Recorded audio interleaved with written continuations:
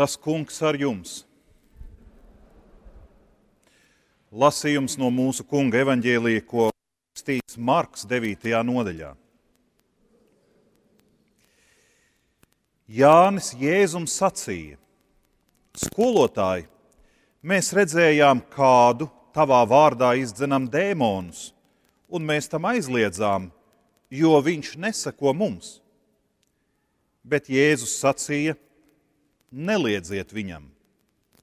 Tāda, kurš darītu brīnumu manā vārdā, un tūlīt par mani varētu runāt ļaunu. Kas nav pret mums, tas ir ar mums.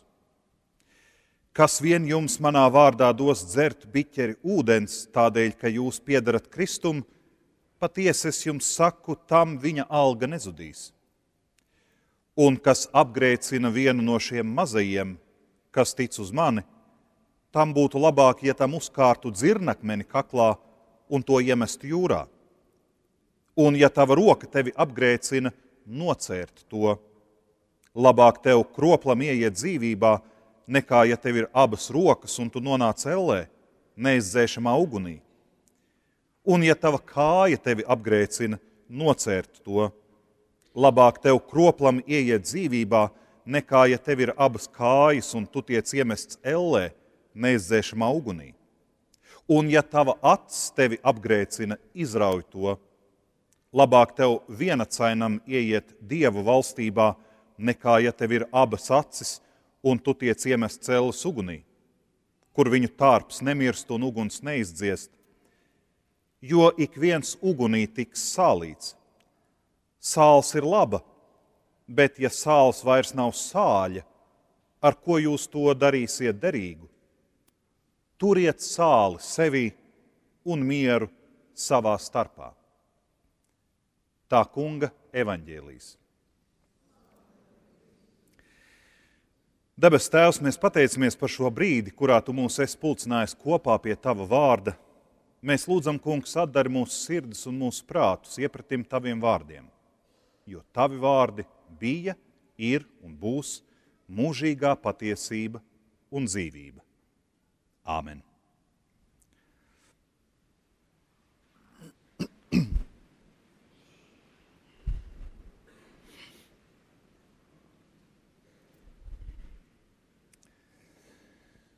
Vai jūs atceraties to kadru no limuzīna Jāņa nakts krāsā, kur Mirtas tante Ērikam un Dagnijai pirmo reizi paziņo par nodomu novēlēt viņiem savu loterijā laimēto žiguli. Viņu dēls Uģis, apģērbīgs puika, uzreiz visu ir izkalkulējis. Ej, viņš saka, kad tante nomirs, jūs mantosiet žiguli, bet man paliks mocis, vai ne? Par ko gan uzreiz tiek apsaukts? Uģi, kāds tu esi materiālists, tantei ilgi, ilgi jādzīvo. Bet mēs jau saprotam, tūtaru ģimenei tā tante diezko daudz neinteresē. Tante ir tikai izdevība tikt pie žiguļa. Un uģa neapdomīgā sajūsma tikai izgaismo patiesībā arī viņa vecāku savtīgos nolūkus skumji un uzjautrinoši vienlaikus. Jo īstenībā tik cilvēcīgi saprotami un atpazīstami ir šīs filmas personāži. Tādi esam mēs visi. Brīžiem egoistiski un liekulīgi, brīžiem vientuļi un izmisuši, brīžiem vientiesīgi un sirsnīgi. Es atcerējos to visu, lasīdams šodienas stāstu Marka evanģēlijā. Jāatzīst, neko daudz atšķirīgāki par tūtaru ģimeni nebija arī Jēzus mācekļi. Reiz ejot visiem kopā caur dzimtajiem apvidiem, Jēzus stāstīja mācekļiem, ka pienāks tāds brīdis, kad viņš tiks nodots.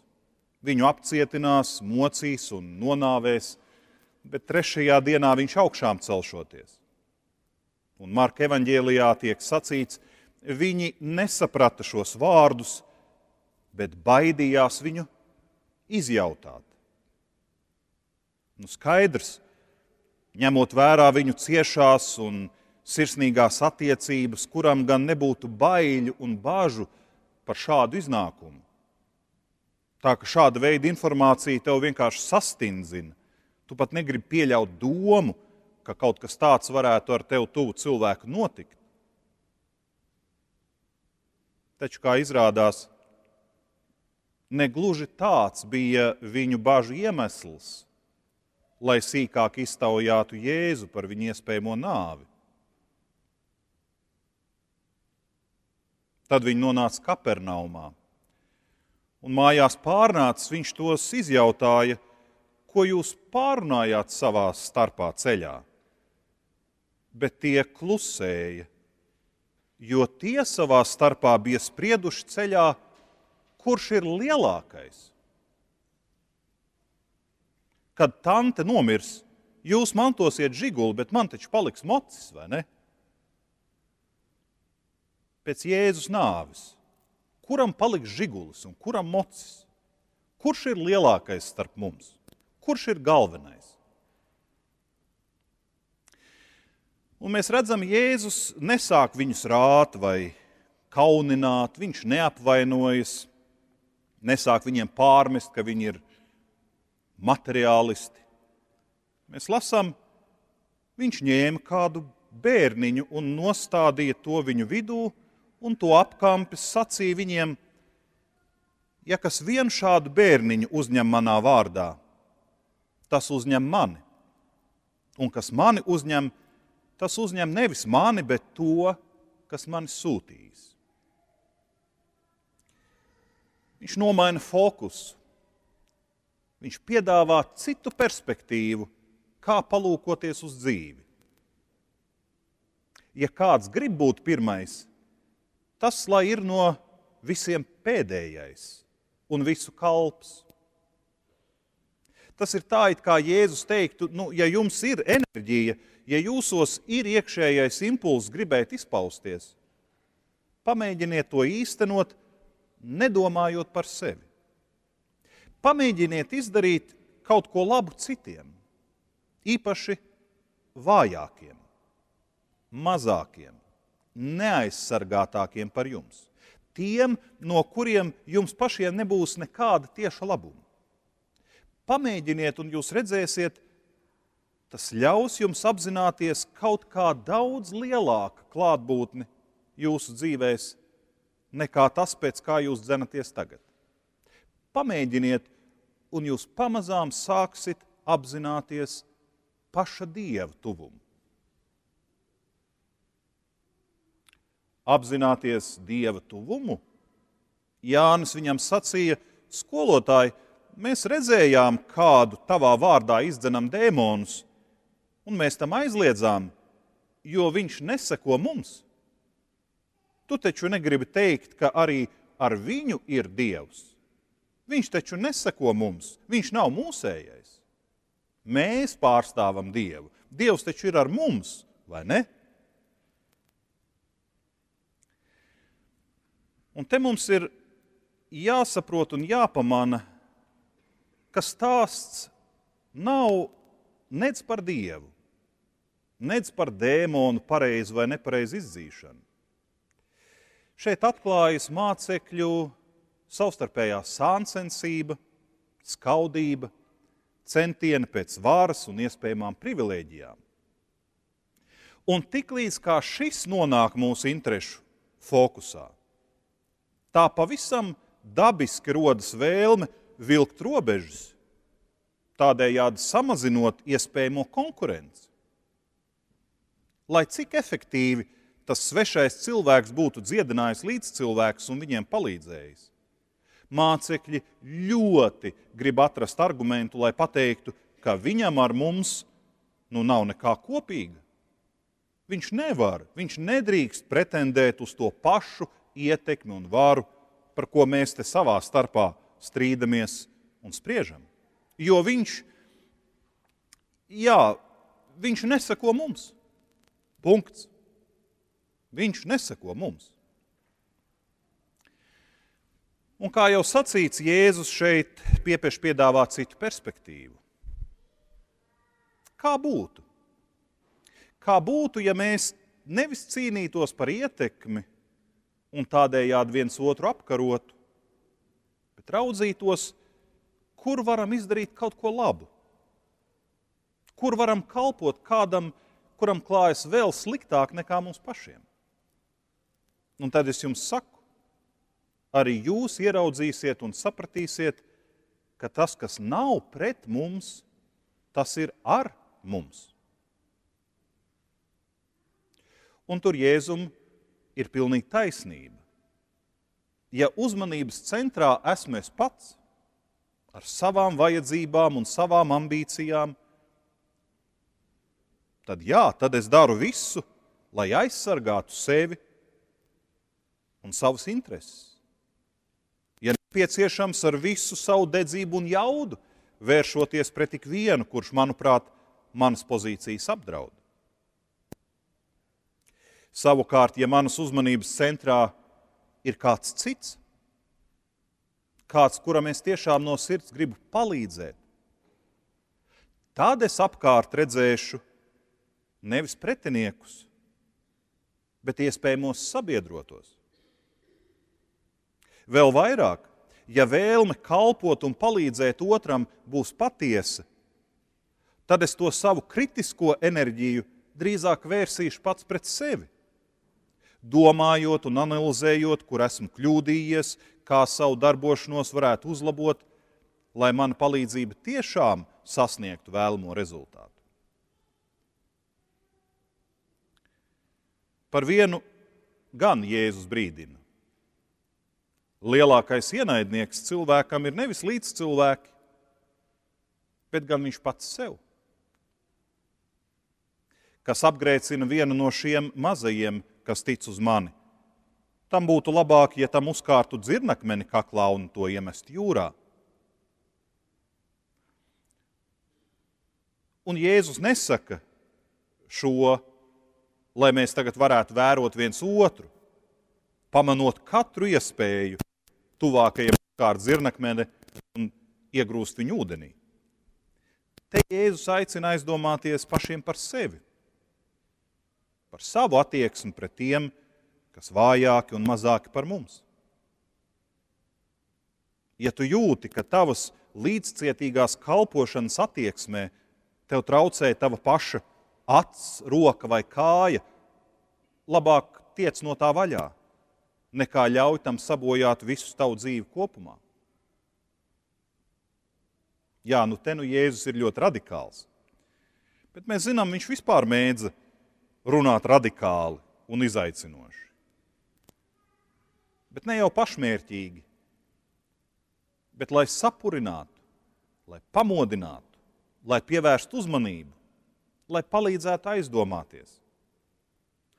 Vai tiešām man būtu jāšķiras no kaut kā, kas ir mans, mana acs, mana roka, mana kāja, lai tikai es neapgrēcinātu, neaizskartu kāda cita intereses? Jā, Jēzus saka, ja tu neesi gatavs neko atraut no sevis paša, ja tu neesi gatavs neko sev nogriezt, ja tava eksistence centrējas tikai un vienīgi ap tevi pašu, tavām vajadzībām un ambīcijām, ja tu neesi gatavs pamanīt sev līdzās vājāku un mazāku par tevi un sevi ierobežot, lai arī viņš varētu pilnvērtīgi dzīvot, tad mums visiem ir lielas problēmas. Tad visu mūsu kopējā eksistence pārvēršas par elli, kur katrs tikai vaimanā pats par sevi un griež zobus pret visiem citiem. Tas nav tas, ko es jums esmu mācījis, viņš saka. Tas nav mans mantojums, ko es jums gribu atstāt. Turiet sāli sevī un mieru savā starpā. Mēs zinām, Jēzus un viņa laika biedru izpratnē sāls ir vērtīga, jo noteiktos apstākļos palīdz saglabāt pārtiku no bojāšanās, piešķir ēdienam garšu, kā arī zināmā daudzumā ir nepieciešama optimālai veselībai. Tā arī noteiktas cilvēka personības kvalitātes ir tās, kas palīdz saglabāt sabiedrību no bojājas, piešķir dzīvei labāku garšu, uzlabo veselību beig beigās. Tās iekšējās kvalitātes mūsos, tas ir kaut kāda veida potenciāls, ko Dievs mūsos ir ielicis. Un Jēzus saka, nepazaudējiet to. Apostols Pāvils bija daudz konkrētāks šī potenciāla aprakstīšanā. Viņš teica, tā esot mīlestība, miers, prieks, izturība, krietnums, labestība, uzticamība, lēnprātība, savaldība. Viņš to sauc par garu augļiem. Taču vienalga, lai kādos tēlos vai vārdos mēs šo iekšējo potenciālu aprakstītu, tā ir cilvēkam dota iespēja augt pašam un palīdzēt arī pasaulē kļūt par labāku vietu. Jā, tas latviešu tulkotais turiet sāli sevī var maldinoši šķist kā aicinājums šo potenciālu paturēt tikai sev, sevī, neizpaužot, neatdodot, neļaujot to piedzīvot apkārtējiem. Bet nē, uzsvars šeit ir uz to, lai mēs ļaujam mūsos ieliktajam potenciālam augt, veidoties, ka mēs viņu nepazaudējam ka mēs neļaujam pazaudēt tam savu vērtību. Tas mums ir dots tieši tāpēc, lai mēs to lietotu. Tāpat kā, protams, arī sālī mūsu mājās jau jēga ir tikai tad, ja mēs to izņemam ārā no sāls trauka un pieberam, iemaisam visur tur, kur gribam panākt no tās kādu labumu, kādu labu ietekmi. Tā arī mums. Tas iekšējais potenciāls, kas mūsos ir ielikts, ir jādāvā, jāsniedz viens otram. Bet šajā aizrautībā ar savu izaugsmi, ar savu potenciālu attīstīšanu, Jēzus saka, mēs nedrīkstam aizmirst, ka līdzās ir arī citi cilvēki, kas tāpat kā mēs aug, veidojas, attīstās. Un tāpēc turiet sāli sevī un mieru savā starpā. Mums ir daudz vairāk kopīgu mērķu un uzdevumu nekā mēs pirmajā brīdī pamanām. Un to īstenošanā mums nebūtu jābūt sāncenšiem. Mēs esam aicināti viens otru uzlūkot kā sabiedrotos. Iedomāsimies, kā tas būtu, ja toreiz, padzirdējuši par savu skolotāju iespējamo nāvi, Jēzus mācekļi būtu sākuši savā starpā spriest nevis par to, kurš ir lielākais starp viņiem, bet par to, kā mēs varētu turpmāk sadarboties vēl ciešāk, vēl intensīvāk, lai mūsu skolotāja iesāktais neapstātos lai aizvien vairāk un vairāk cilvēku uzzinātu un piedzīvotu, ka Dievs ir labs, ka viņa valstība jau ir mūsu vidū. Tajā brīdī viņiem tas nesanāca. Bet mēs zinām, mācekļi līdz tam nonāca. Ne uzreiz, pamazām.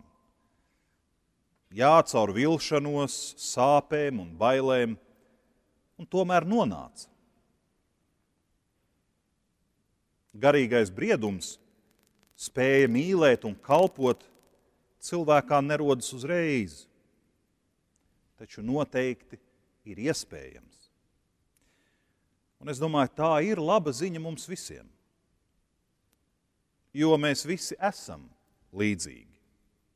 Gan savā egoismā un vājumā, gan arī tajā labajā, ko Dievs mūsos īsteno. Ar to šis izaugsmas ceļš arī ir aizrautīgs un interesants. Tajā būt un vērot, kā maināmies mēs paši un kā tā rezultātā mainās pasaule ap mums. Tajā aizvien vairāk un vairāk atklājoties Dieva labvēlīgajai klātbūtnei. Droši vien tas varētu būt arī tas vienīgais un svarīgākais vēlējums šodien iesvētāmajiem. Sajust šo pārmaiņu sevī, apzināties šo iespēju, sajust sevī šo potenciālu, kuru Dievs mūsos ir ielicis, kuru Viņš vienā brīdī mums ir ļāvis ieraudzīt un atklāt. Un sajust un apzināties, ka mēs visi esam sabiedrotie šajā ceļā, lai augtu, lai veidotos, lai šī pasaule būtu mums visiem par labāku vietu. Āmen!